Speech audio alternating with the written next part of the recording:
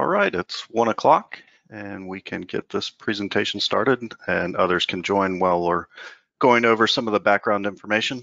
Um, thank you for joining us this afternoon um, uh, for, today's, for today's seminar entitled South Atlantic Fisheries Management Council Deepwater MPAs Outcomes and Uncertainty from 17 Years of Sampling.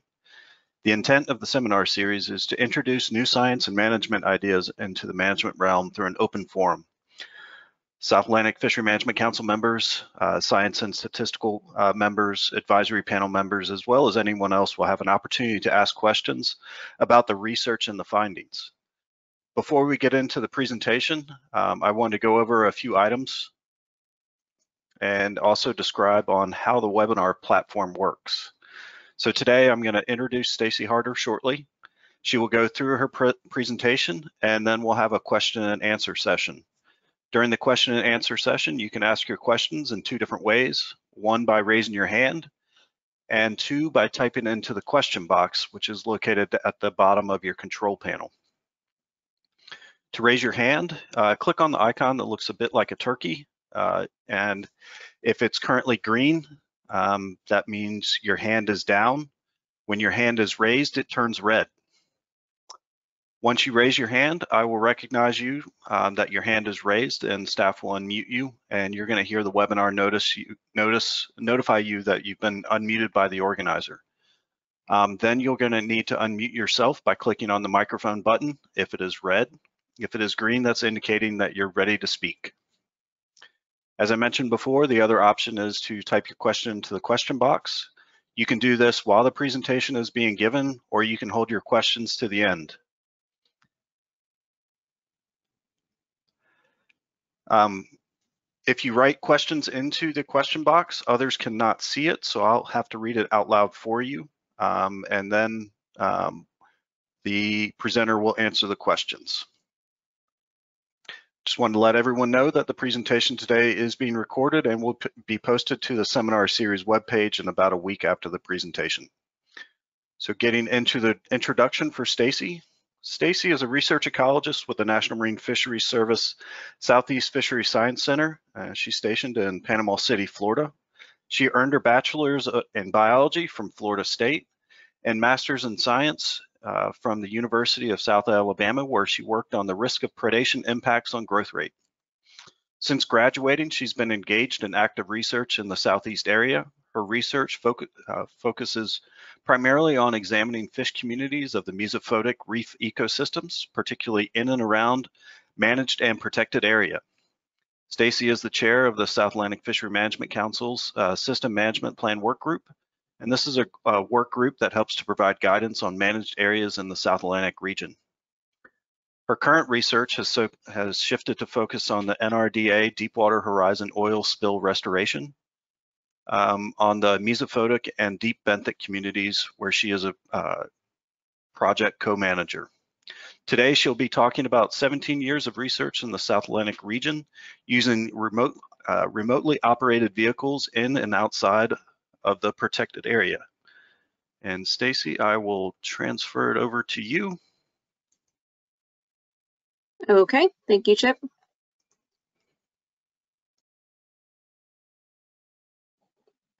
Okay, let me get into presentation mode. And can you see that okay? Yes, we are seeing it. Okay, perfect. So thanks, Chip, and thanks everybody for tuning in today. Um, I just want to take a moment to recognize my co-PIs are John Reed, Stephanie Farrington, and Andy David on this project with me. So let me move this. So the MPAs that we're going to be discussing today are the Amendment 14 MPAs, um, and this is a network of eight MPAs that span from North Carolina to the southern tip of Florida. They were implemented in 2009 as type 2 MPAs, meaning that bottom fishing is prohibited in the protected areas, and they were intended to protect five species of deep water grouper and two species of tilefish. So our efforts have been focused on six of these MPAs. We've focused on Snowy Wreck, Northern South Carolina, Edisto, Georgia, and the North Florida MPAs. We also started sampling the Charleston Artificial Deep, Deep, Deep Reef MPA in 2016 once structures were deployed in that area. We did not target St. Lucie or the East Hump MPA. Um, logistically, it just was not possible to cover such a large area. We get a two week annual cruise and that was just too much of an area to cover. Um, however, we were able to opportunistically sample St. Lucie Hump in 2016 because bad weather pushed us that far south and that was the only place we could work. Um, and this ended up being a productive, unexpected outcome as we were able to completely map the MPA given its small size. And we conducted the first visual survey of the MPA, which resulted in the first known Oculina coral mounds that had live Oculina colonies on them that's been observed south of Jeff's Reef. We also sampled East Hump MPA with John Reed and Stephanie Farrington in 2011 as part of a separate project, and that data was published in 2014. We added in sampling at the Devil's Hole um, spawning special management zone in 2013. It's right in the middle of our study area and it was designated as a spawning SMZ in 2016 and therefore is important to the council. Um, and so we also added in sampling of the Oculina, HAPC, and the OECA in 2015, and that was at the request of the council for updated information on that area. So even though the MPAs were not implemented until 2009, we were fortunate enough to begin surveying the areas in 2004. And we've done annual sampling through 2021, with the exception of just a few years, including 2005, 2011, and 2020. And like Chip said, our sampling approach included remotely operated vehicle dives and multi-beam mapping surveys, which I will talk about in more detail in upcoming slides. So we conducted um, opportunistic sampling north of the Snowy Wreck MPA as well when the council was considering areas for additional MPAs. And you'll see where those dives were conducted when I show a map of all of our ROV dives. We had three overall objectives for the project. We wanted to determine the abundance and distribution of economically important reef fish species and macroinvertebrates. We wanted to evaluate the habitat of the MPAs with respect to species composition and abundance, as well as geomorphology. And then we wanted to correlate the fishery and the habitat data to detect trends in fish and invertebrate populations over time. So how do we go about selecting our sites with the ROV? So having good multi-beam maps is crucial. I can't state that enough. Um, and unfortunately, we did not have a lot of it in the beginning of our survey. Um, we used whatever existing multi-beam maps we could get our hands on. Um, but back in the early surveys, when very we had very limited data, we even were using ba basic bathymetric charts, and those just really aren't very helpful at all when you're trying to plan an ROV survey. Um, as we acquired more mapping data, our sampling universe expanded each year, and we received some very valuable maps from George Sedberry in um, 2011. And then starting in 2012, when we got time on the NOAA ships, um, we were able to start acquiring our own mapping data using the ME70 on the NOAA ship Pisces. Our sampling approach was to target the hard bottom reef habitat, as that's where most of the target species occur, and we sampled sites inside and outside the MPAs each year. The exception to this is the Georgia MPA, as that one was designed to protect tilefish on soft bottom habitat. Because we don't have any mapping from inside the MPA, we targeted the hard bottom habitat outside to the west of the MPA to assess the snapper grouper populations. Um, and because mapping data was limited, we used a combination of a typical standardized fishery independent survey which uses random site selection with habitat strata. And we, we uh, complemented that with an effort to try to collect as much information about the MPAs that we could. And what this approach does is it lays the groundwork to be able to provide information needed to assess the effectiveness of MPAs going forward. So as I mentioned, our surveys were conducted using ROVs. For most of the project, we partnered with uh, the University of North Carolina at Wilmington and used their Phantom 2 and the Mohawk ROVs, which are shown in the pictures here. The ROV dives were broken down into transects based on habitat type. And on the next slide, I'll give some more details on our habitat characterization scheme. Myself and Andy David handled the fish analysis, and then John Reed and Stephanie Farrington joined the project in 2010 as co-PIs and expanded our survey to include an analysis of the macroinvertebrates. I'm going to focus this presentation today on the fish analysis, uh, but the invertebrate analysis can also be found in our annual cruise reports that we submit to the council after each of our field efforts. Here's the categories that we use to categorize habitats for the transects. So we looked at MPA status, either inside or outside the protected area. Depth was another factor we looked at. So these MPAs span the shelf edge and upper slope habitats from about 50 to 250 meters, and that change in depth will affect fish community composition. We also looked at relief um, and divided that into three different categories of low relief, which was zero to one meters, moderate relief was one to three meters, and then high relief was considered anything greater than three meters. Um, another factor was rugosity, either high or low. Um, this one is somewhat subjective as there wasn't a quantitative measure used, but rugosity here is defined as a degree of ruggedness of the rock bottom, and it's relative to the size of the rock ledges, holes, and crevices, which tend to provide the greatest fish habitat. So high rugosity on these shelf edge reefs occurs primarily along the edges of the ridges, where there's a zone of fractured rock slabs or zones of boulders or rock outcrops. And then low rugosity would be the flat rock pavement that is typically found at the top and the bases of the ridges. We also see some areas that have rounded rock mounds and knolls that are devoid of ledges and loose boulders, and those would also be considered low rugosity areas. And finally, substrate type. Um, so either categorized as soft substrate, pavement, low relief outcrops, moderate relief outcrops, and high relief ledge. And this is just a visual representation of the four main hard bottom habitat types. So you've got pavement in the upper left that's got no relief to it. You've got low relief outcrops on the upper right, moderate relief outcrops on the bottom left, and high relief ledge on the bottom right.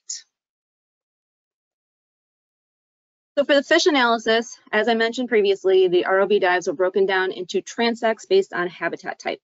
So this is an example of a map that shows multi-beam data from the Edisto MPA. And the line on the map represents our ROV dive, and then the different colors represent the different habitat types and therefore transects along that dive. So we identified and counted all of the fish for each transect, and then we calculated transect area by multiplying the transect width by the transect length. So transect width was estimated using lasers that were on the ROV that are a known distance apart. And then transect length was calculated from the ROV tracking. And then we use that to calculate fish densities as the number per 1,000 meter square for each transect. The next couple of slides show the multi-beam mapping that we have accomplished since 2012. So this shows the northern portion of our study area, basically from the deep artificial MPA extending north of the Snowy Wreck MPA. And then this map shows the multi-beam mapping that we've conducted in the southern portion of the study from the Georgia MPA south to St. Lucie. A total of 1320 kilometers squared of new multi-beam has been collected from the study between 2012 and 2021. And then this map shows all of our ROV dives. We've completed 342 dives between 2004 and 2021 in depths of 30 to 264 meters. And the average length of our dives is approximately one kilometer. So essentially we've visually represented 342 kilometers of area over the years. And then here's a breakdown of our dives showing how many were conducted inside and outside each MPA. And the list goes from north on the top to south on the bottom. So you can see most of our effort has focused on the Northern South Carolina, Edisto, and North Florida MPAs. We didn't start sampling the barges until 2016 after material was deployed in those MPAs. And then as I mentioned, St. Lucie's hump was only surveyed one year, and that was because bad weather pushed us that far south. The Oculina is separated out into the OHAPC and the OECA. Um, this has been a very difficult area to work in um, because of the Gulf Stream. We get currents up to uh, as high as four knots. Um, so we were actually only able to dive inside the OECA one year in 2016. And we've been able to do a little bit more um, in the OHAPC because it's usually a little bit more to the west and just slightly outside of the, the Gulf Stream. And then as I mentioned previously, our dives at Georgia have only been conducted outside the MPA on the hard bottom due to the lack of mapping inside the MPA. So while mapping and imagery from the ROV have been the focus of our data collection, we've also acquired CTD data as well as physical samples over the years as well. Um, we've usually had a Seabird CTD attached to the ROV for most dives. At a minimum, it's collected temperature and depth, um, but a few years ago, we got an upgraded model and we've been able to track several other metrics, including conductivity, pressure, salinity, sound velocity, density, oxygen saturation, and nitrogen saturation. And I know this graph is probably small for you and hard to read, but basically this is the type of information that we get from the CTD. Typically salinity is fairly constant with depth and there's usually a, but there's usually a strong thermocline. And temperature in particular has helped us identify when an upwelling event may be occurring because um, it strongly affects the visibility on the bottom and therefore the behavior and the detection ability of the fish. Also with the upgrade in the ROV in 2014, we gained, we gained sampling capabilities. And so a total of 127 invertebrates, mostly sponges and corals, have been collected for various purposes. The majority of our samples were collected for taxonomy purpose, um, as it's often difficult to identify the invertebrates from imagery alone. But we've also made a number of collections for DNA and chemical analysis, and we've also made collections of live invertebrates, including some for the Smithsonian, as well as live corals for the uh, NRDA, Mesophotic and Deep Benthic Community Deepwater Horizon Oil Spill Restoration Project. And this project is trying to learn more about the biology of the corals um, to eventually be able to propagate them for restoration purposes. So now I'm going to move into some of the results from this project by discussing three manuscripts that have come from this survey. So the first manuscript I'll be talking about was published in 2016 and was titled No Evidence of Increased Demersal Fish Abundance Six Years After Creation of MPAs in the South Atlantic. Um, this was a collaboration with research colleagues at the NOAA Beaufort Lab as well as Gray's Reef National Marine Sanctuary. So the data that went into this analysis was human occupied vehicle surveys conducted between 2001 and 2004, as well as our ROV survey um, using data from 2004 to 2014. And the depth range we looked at was 45 to 125 meters, so it didn't include some of the data from the deeper portions of our MPAs. And the MPAs that we focused on were the Snowy Wreck MPA, the Northern South Carolina MPA, Edisto, Georgia, and North Florida MPAs. And the objective was to determine if changes could be detected in density or number of reef fish species inside versus outside the MPAs. And we used a combination of univariate and multivariate analysis to look at this. So this table shows the percent frequency of occurrence of six different grouper species for each year. And then the numbers inside the parentheses represent the total number of individuals observed. The bottom row represents a total percents and numbers for all the years. Um, and the point that I wanted to show is just that the percent frequency of occurrence of most of the grouper species was generally low, with the exception of scamp, which we observed on 48% of the transects. And the lowest percent frequency of occurrence was observed for Warsaw grouper and snowy grouper. And as a little aside, one thing I'd like to point out at this point is that this manuscript did not include the deeper depths of any of the MPAs, but in particular the Northern South Carolina MPA. Um, because, and I bring up that MPA in particular because inside and outside the deeper depths of this MPA are old iceberg scars and so when the icebergs were moving through the area, it pushed all the rocks and the boulders to the sides of the scars and created this great habitat for some of the target species. So we have looked at this area over the years, even though it wasn't included in this analysis. Um, and these areas have demonstrated higher densities of both snowy grouper and blue line tilefish compared to the shallower portions of the MPAs. Okay, so I know this is a lot of data on the slide and it's probably pretty small for you, but I will go over the highlights of the results from the study.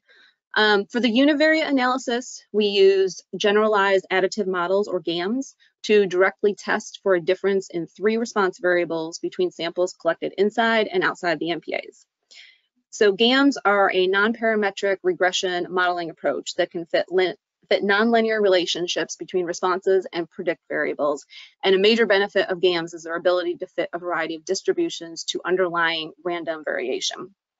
So we use GAMS because they can more accurately quantify an MPA effect after standardizing for many of the variables that influence patterns in demersal fish abundance and distribution. The three response variables that we looked at were the total number of fish species, the density of exploited fish species, and the density of vermilion snapper. So vermilions were called out because they have a relatively short lifespan and an early maturity, so we would expect them to respond quicker to management measures. And they were also observed relatively frequently um, on our surveys. And this is what the top left set of graphs show. Um, each graph shows one of the predictor variables. So the top one is the number of species, the middle is the number of fish species, and the bottom shows the density of the vermilion snapper. And along the x-axis is year.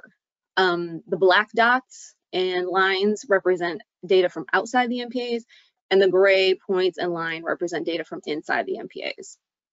Dashed lines represent the 95% confidence intervals.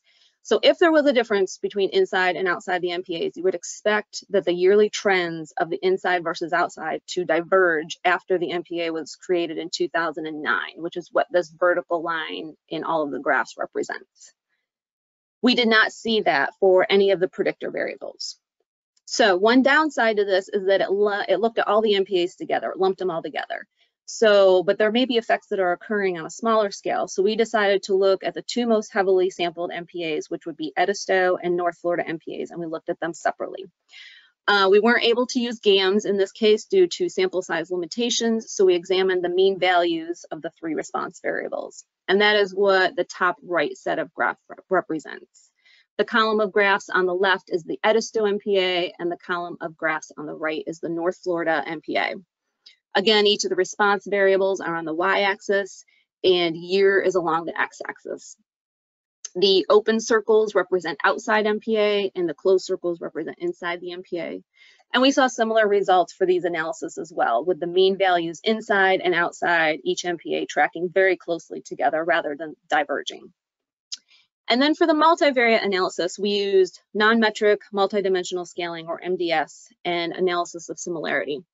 And these analyses were used to compare fish community densities based on a before, after, control, impact, or BACI design at two different spatial scales. So we looked at the overall survey area, and then we looked separately at Edisto and the North Florida MPAs, just like we did for the univariate analysis. And the graphs on the bottom um, show these MDS plots at these spatial scales.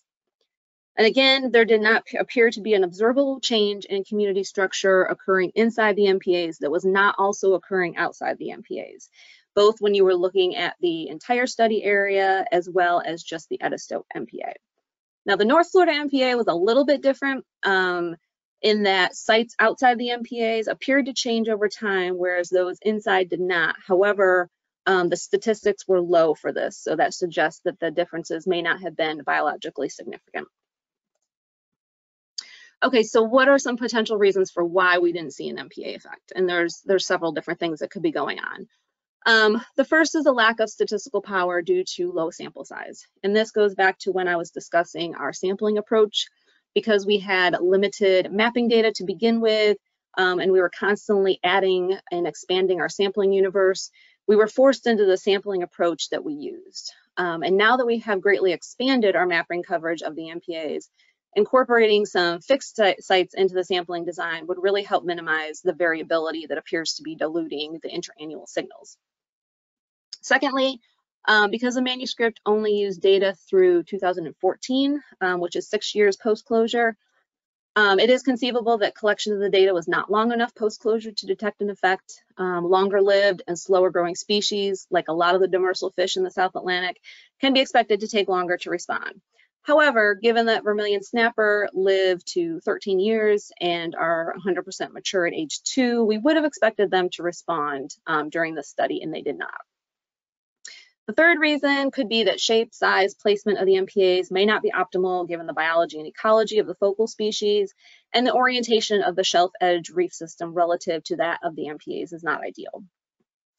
A fourth potential reason is that not enough area is protected from fishing. Um, there's recommendations out there that suggest that at least 20% of the managed area needs to be protected because these larger areas allow more species to be able to complete their complete life cycles within the protected boundaries.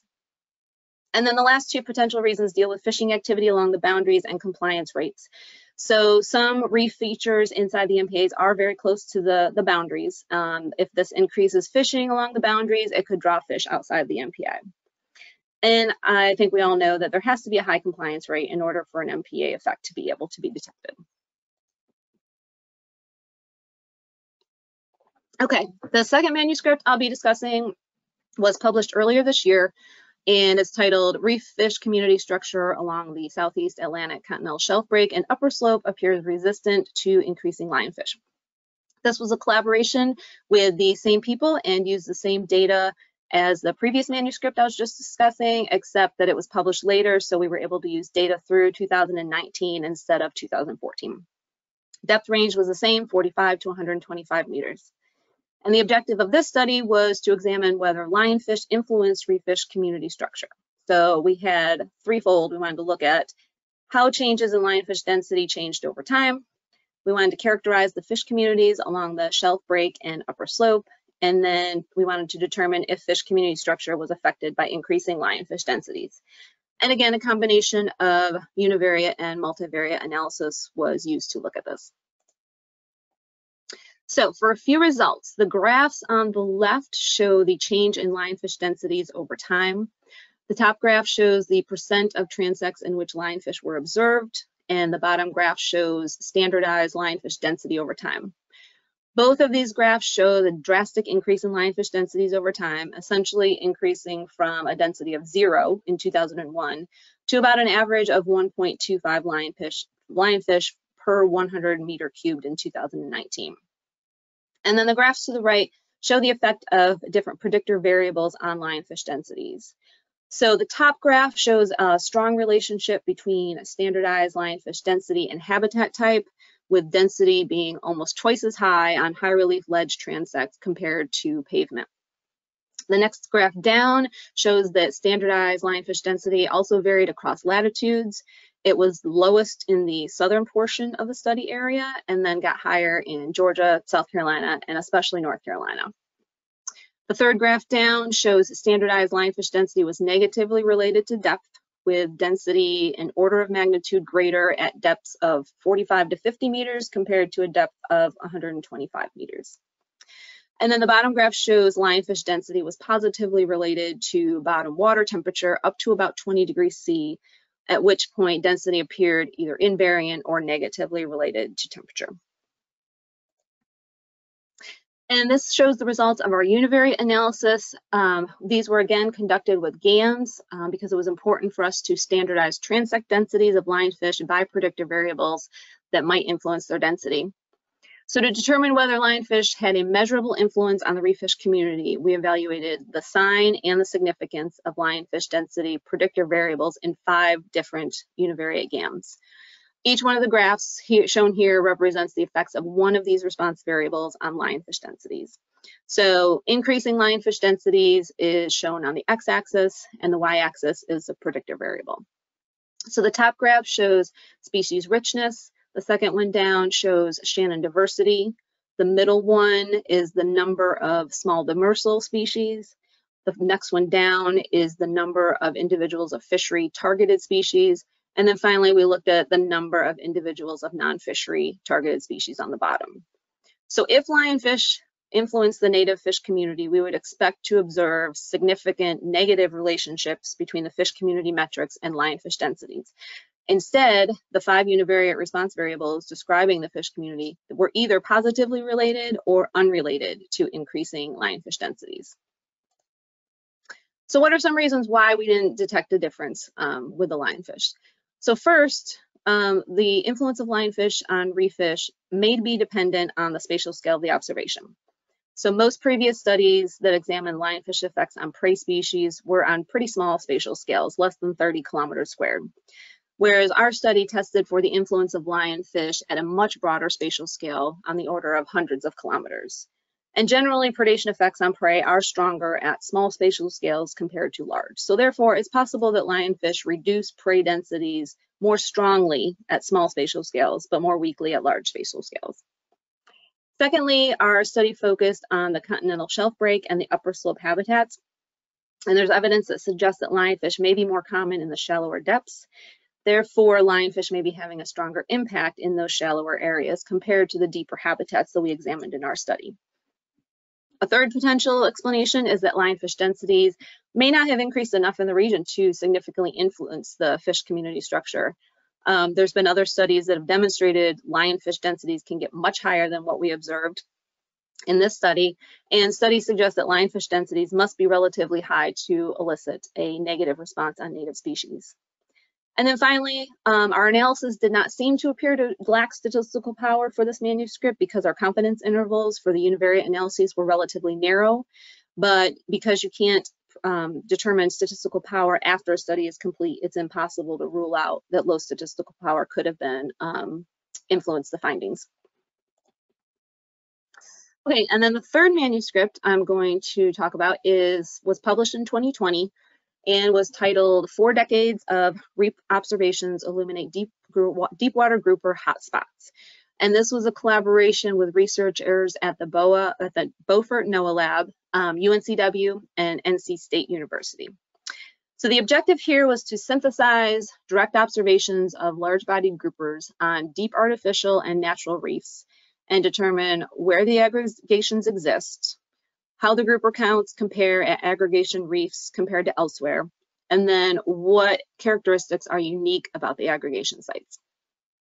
So the data for this study ranged from 1979 to 2019 in depths of 50 to 300 meters. It consisted of 235 HOV transects, 439 ROV transects, including many from our survey, as well as 881 hook and line drops. Now the hook and line drops are not comparable to the transects from the HOV and the ROV, so they weren't used uh, when we were comparing the two, but they provided additional data on sites with and without high grouper catches. So this map shows all of the transects that were included in our analysis and the six grouper hotspots that we identified, five of them which were artificial reefs and one was a natural reef. Um, so the gray circles represent natural reefs that were not a hotspot.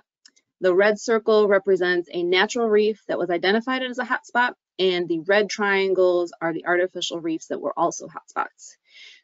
And three of the artificial reefs that were hotspots were data collected from our ROV survey, and these were the Snowy Wreck, Deep Barge, and Shallow Barge.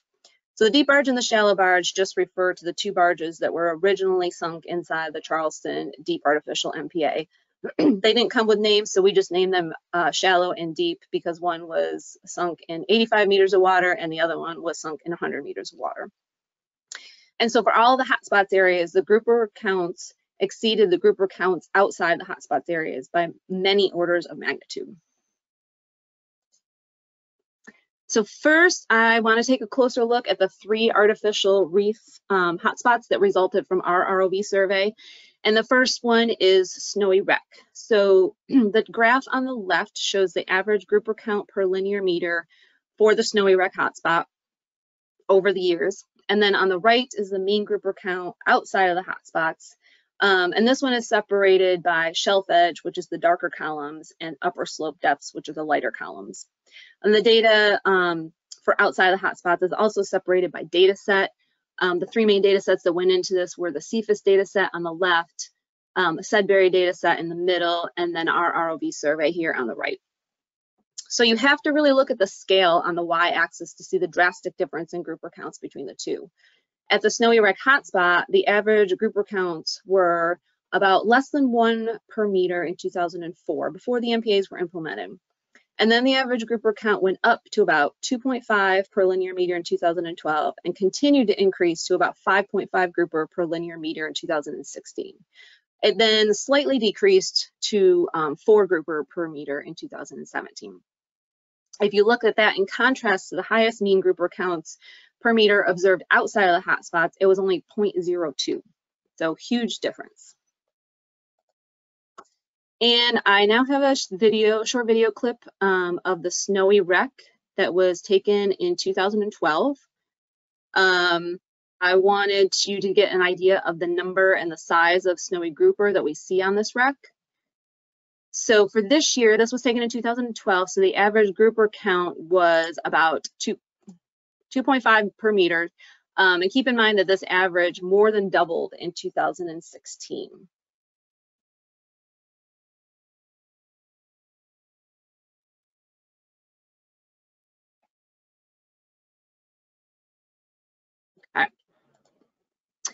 Um, unfortunately, this video was taken at the Snowy Wreck as well, but this was our last time out there in 2021 and showed fishing activity occurring on the wreck. So when we first came up on these guys, they weren't moving. We didn't know they were alive, but we hung out here for a little while. We repositioned the ROV to get some good footage. Um, and all of a sudden they started moving, which was very eerie. Um, we also observed other fishing line gear on the wreck, as well as another snowy grouper that was swimming around with a mouth with a hook in its mouth and some line trailing from it.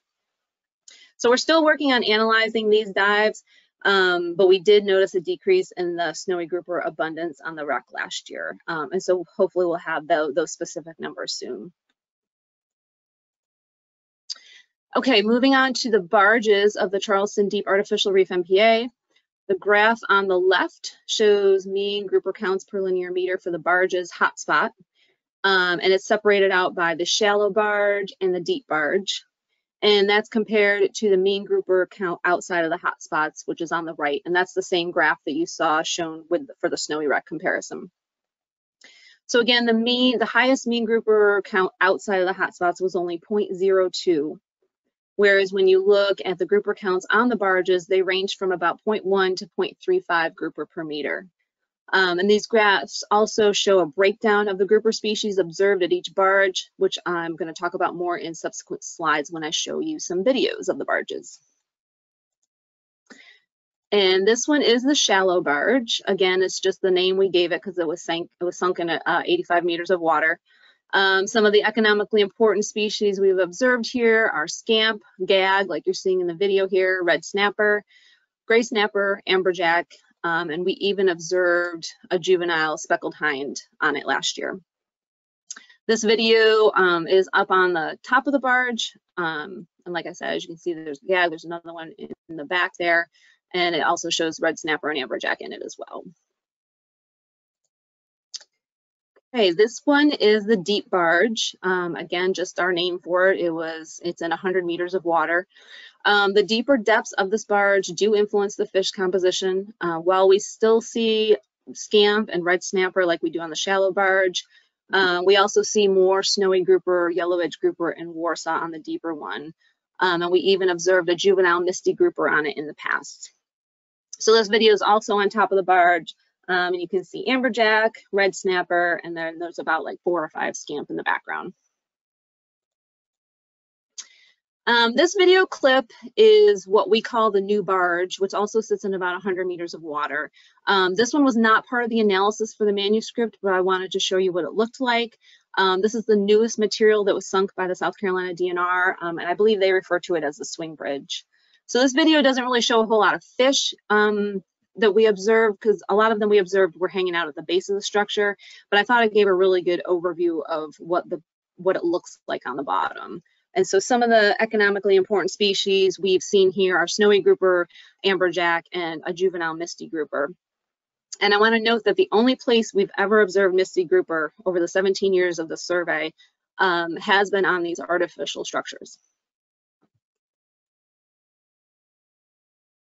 Okay, so what is different about these hotspots?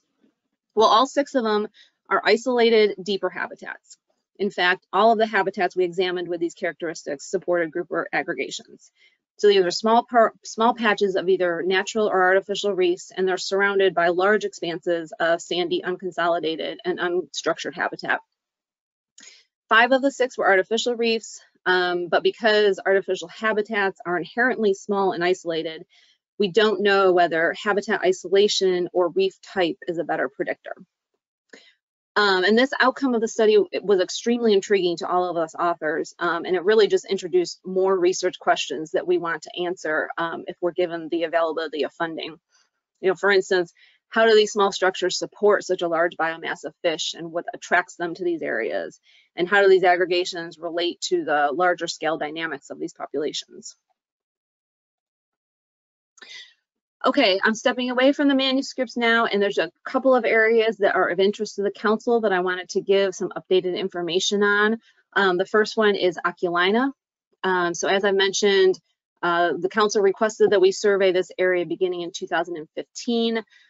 It is a bear of an area to work in given the Gulf Stream current. Um, but over the years, we were able to complete 17 dives. Four of them were in the OECA, um, which is the smaller portion down here on the map, and then the rest of it is the OHAPC. And the graphs show the abundance of fish species observed in the OECA on the top, and then on the, in the OHAPC on the bottom. So the most abundant fish seen in the OECA were things like wrasses, tattler, yellowtail reeffish, and vermilion snapper. Um, and then some of the economically important species that we observed here were vermilion snapper, greater amberjack, red snapper, scamp, gag grouper, and warsaw grouper. The most abundant species inside the OHAPC were quite similar to the OECA and included things like tattler and bank butterfly fish and short big eye and scorpion fish. And then the economically important species observed here were red snapper, amberjack, snowy grouper, scamp, great triggerfish, and gag grouper. Um, our survey also demonstrated the first large school of red snapper inside the OECA, as well as the first Warsaw grouper sighting in the OHAPC that has been observed since the 1990s. Um, and then John Reed and Stephanie Farrington did an analysis of the corals and highlights from that analysis include um, evidence of scattered live Oculina colonies are starting to regrow in the OHAPC and the OECA. In 2016 alone, 333 colonies of live Oculina were counted across three dives in the OHAPC and four dives in the OECA. Um, of those, 154 were in the OHAPC and 179 were in the OECA. And then the last place I want to give a bit of information on is this Devil's Hole SMZ, which was designated in 2016, um, but we began surveying it in 2013. So we've conducted 11 dives over the years in this area, and that's what this map on the left shows. Um, the, the, SMZ is mapped in its entirety, and you can see where those dives were located. Um, we observed very large schools of fish on some of these dives. Um, so surprisingly, they were not the, they were the most common species observed. Um, and that's what this top table shows. So these schools consisted of anthias, which are small sea basses, um, primarily red barbiers. We also saw schools of scad, vermilion snapper, tomtates, and striped grunt. The abundance of the non-schooling species um, is shown on the graph on the bottom. And some of the most abundant species included things like cubbyu, big eye, squirrelfish, puffers, wrasses, and damselfish. And then some of the economically important species that we saw there were greater and Almaco amberjack, scamp, snowy grouper, porgies, gray snapper, gray triggerfish, red snapper, blackfin snapper, marbled grouper, and gag grouper. And then I've got a video of this area as well. Um, so you can see what the habitat and the fish populations look like here. Um, so this video shows some really nice high relief, high rugosity habitat. Um, there's blackfin snapper there, scamp grouper, and then these schools here are mostly, um, the small ones are anthias, those small sea basses, and then the larger ones are schools of tomtates. But this has been a very cool area to work in and we've gotten some really good dives. Um, and as you can see, these videos take a long time to read for the fish analysis because there's a ton of schools there. Okay, uh, so summarize, some, in summary, um, we were unable to detect a statistically significant MPA effect for the natural hard bottom MPAs. And I believe this, this could possibly be due to the sampling methodology that we were limited to. Because we started with very limited mapping data and we were constantly trying to expand our sampling universe, we were never able to really employ a strict random sam stratified sampling design. Um, and we have funding for usually two weeks each year to be out on the water and we cover an area from North Carolina down to mid-Florida. So that means we really only spend about two days at each of the MPAs, which just leads to small sample sizes. Um, also, given the rarity of a lot of these grouper species, the amount of sampling that may be necessary to achieve a higher statistical power may be enormous, and we just don't know. Um, however, the artificial reefs within, within the MPAs have proven to be a hotspot for grouper aggregations. Um, and this survey has been the only MPA focused data collection effort And we've provided the council with an enormous amount of information over the last 17 years on the MPAs. And we've been providing South Carolina DNR with valuable information on the barges since they were sunk um, since about 2016. Um, and I'll just end with, unfortunately, funding priorities for NOAA's Coral Reef Conservation Program um, have changed. And so as of right now, this survey is no longer being funded as of last year. So I'm going to end there and I guess I will take questions. All right. Thank you so much for that informative presentation and I will take back uh, control from you.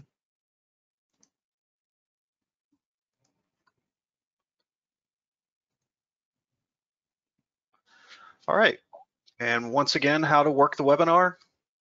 Um, you can click on the microphone. It's currently red for everyone right now, indicating that you're muted by yourself, uh, potentially by yourself as well as the organizer. Um, once I unmute you, um, you'll hear a notification that you've been unmuted by the organizer. If it remains red, unmute yourself till it turns green. If you'd like to ask a question, uh, click on this icon here. Uh, right now it should be green for most everyone. I don't see any hands up right now. When it turns red, that's indicating that your hand is raised. And then finally, if you'd like to ask a question, you can type it in the question box and I will read the question aloud for you. So with that, um, please ask any questions that you like. Um, let's have an open discussion about what they found in the uh, these areas offshore, the marine protected areas. All right, Judd, I see you have your hand up. Oops, there you go. Yeah, I'm here. Uh, thanks, that was a great presentation. Um, I was looking on your on one of your gams you had for the lionfish. You were able to model like the latitudinal change and I guess that was for um, across all years. But I was curious to see if you had, you know, this the spatial resolution over time to see if that if there had been more of a latitudinal shift or range expansion in the lionfish and in any other species as well. Um, so for the latitudinal studies, we were just looking at lionfish there, so we didn't look at um, at other species as well. Um, and no, we just looked, we looked at it for all years combined is how we did that analysis, just looking for those predictive variables that were um, affecting lionfish densities or could potentially affect lionfish densities.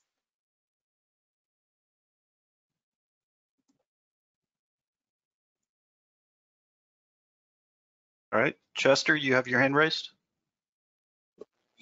I do. Thank you for the presentation.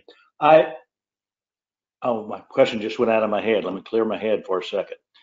All, it, it seems as though all of the studies that you've been doing are with inside MPAs or outside, particularly when it comes to the artificial reefs or the reefs, or excuse me, the artificial reefs. Um, are you aware of any studies that relate to artificial reefs that are not inside of MPAs? And my specific reason for asking that is uh, we've got a Palm County, uh, we've got a pretty good program going where we have uh, been sinking a lot of FP&L concrete poles. And we seem to have had a tremendous, tremendous uh, increase in the number of fish that are on what previously were uh, barren bottoms. Uh, but that is those are not in in an MPA. They are uh, protected in a sense by the good old Gulf Stream because they're deep enough that they're almost impossible to fish, and they're also deep enough so that they are very difficult to dive. And like I said, we've seen a tremendous increase in the number of fishes fish uh, on those things. Thank you. I'll mute myself. That's great, and thanks for that question. Um, actually, I'm glad you asked that because two two of the reefs that I did not go into any detail on that were considered hotspots for grouper were not in MPAs, and their areas farther north in North Carolina um, at SS Bluefields and U576 areas is what they're called. Um, so those two were also identified as grouper hotspots in our manuscript, but though they are not within a protected area.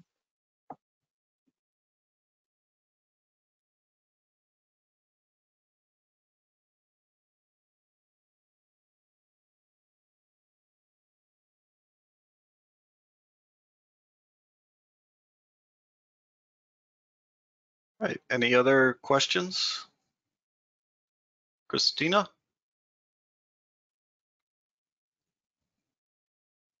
Sure. I don't mean to take us off track a little bit. I know this is sort of outside of what you've just presented here, but given that you talked a little bit about, you know, non-compliance um, maybe causing some issues with the effectiveness of these MPAs, do you know if there's any any attempt to sort of collect more you know, social justice, social equity, or economic information that's looking a bit more at the process of how these MPAs are set up or how fishermen have sort of altered their behavior or perceptions of these MPAs just to sort of get at why we might be having some issues with compliance.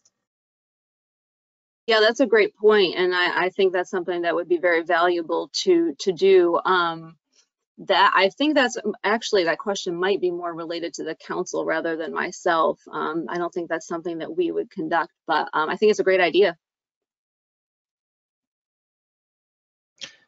Yeah, and I, I can say we haven't, at least I'm not aware of studies that do that, Christina.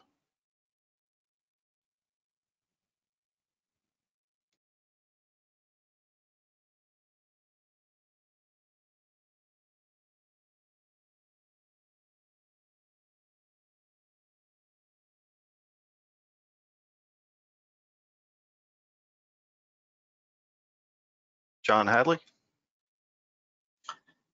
Yeah, thank you for the presentation. Um, I have a question. It's kind of alluded to there in the first and second bullets. Um, in the presentation, it seemed like the first and third publication are, are somewhat at odds with one another.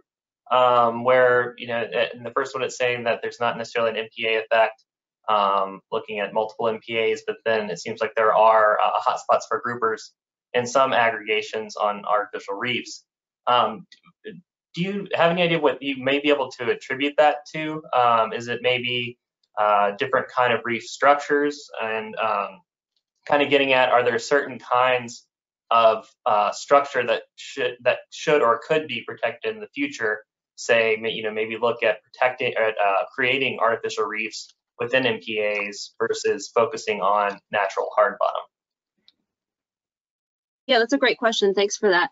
Um, so the, the, the first manuscript where we weren't able to detect effect, an effect um, was looking at the natural hard bottom MPAs. And then the third manuscript focusing just on, um, well, on natural and artificial. Um, but I do want to reiterate the point that it just it wasn't just looking at um, artificial structures within MPAs. We also did find hotspots that are outside the MPAs as well. Um, and so even though five of those six grouper hotspots were on artificial reefs, we we don't know whether because artificial reefs are inherently small isolated structures. Um, so we don't know if it's actually that or um, you know if it's the habitat type or the reef type itself that that they're attracted to at this point. So that's kind of one of those research questions that came from this study that we'd love to be able to look further into in the future.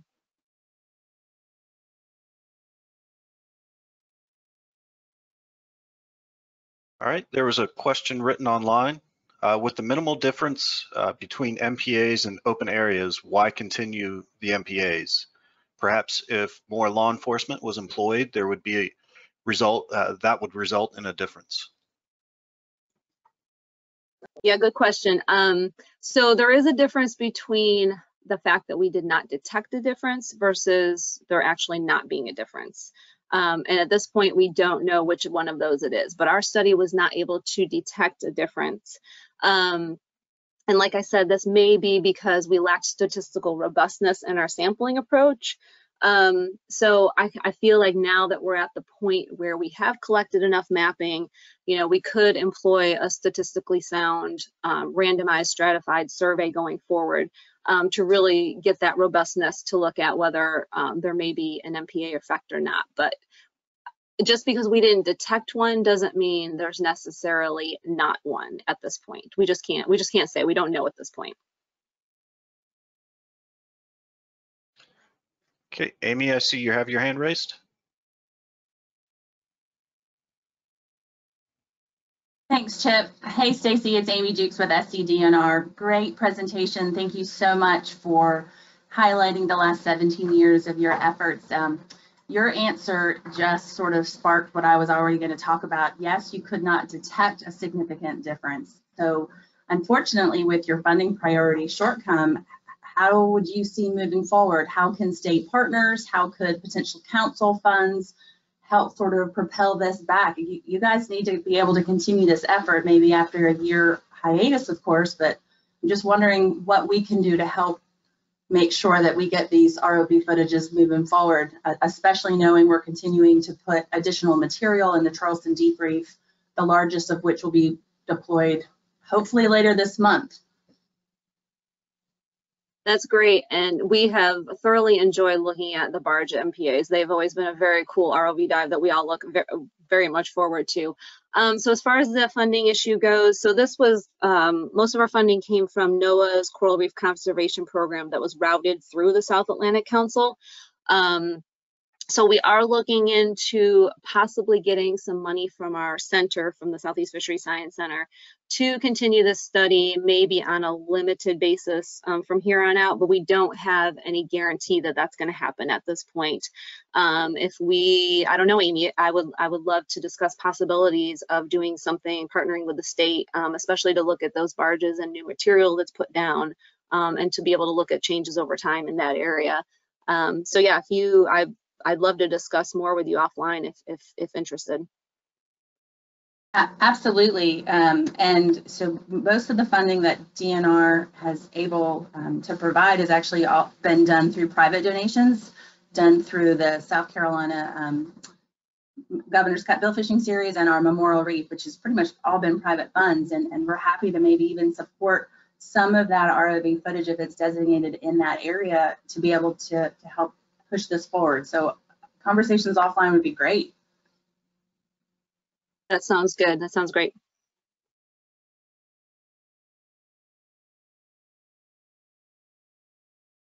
Right, Judd, I see you have your hand up. Yeah, thanks, Chip. Yeah, I was just curious on that first bullet as well, um, just the, the detection of a statistically significant effect. And um, I was just kind of thinking about like, you know, MPA theory, you have the spillover effect, right? That's kind of one of the benefits of it. And then you know, your abundance of biomass spills over into those outlying areas. I mean, how far away from the MPAs was your non-MPA sampling site? Do you think it was far enough away where then um, it's an, and is an equivalent habitat as well? So I'm just kind of like curious on that sampling design, and maybe that could be a reason why you didn't see an effect. Yeah, so our sites outside, we definitely correlated the habitat type. So we made sure we were making comparisons between um, the same type of habitat in, inside versus outside. Um, and I would say, I mean, some of them are relatively close to the boundary, but I would say there were other sites that were outside that were maybe, I don't know, five kilometers away or something like that. Um, so that's probably about the range of distance that we were looking at.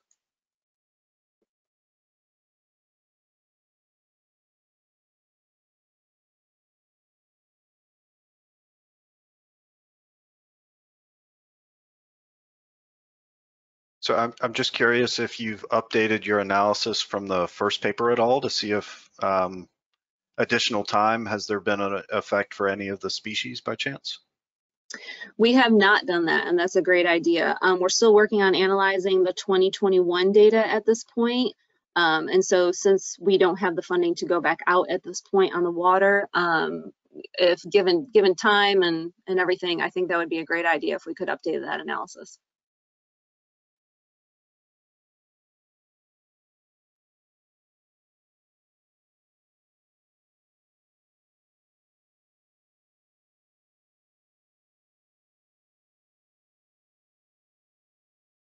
All right, any other questions?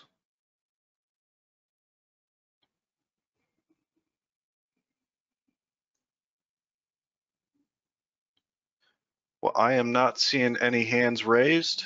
So thank you so much for your time today, Stacy. That was a great presentation.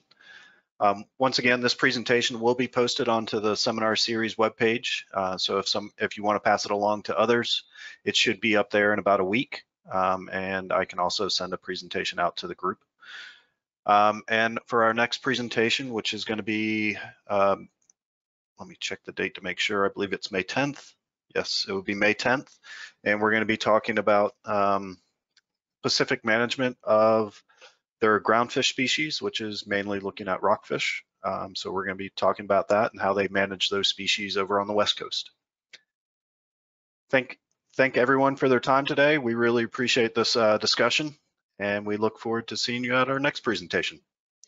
Take care.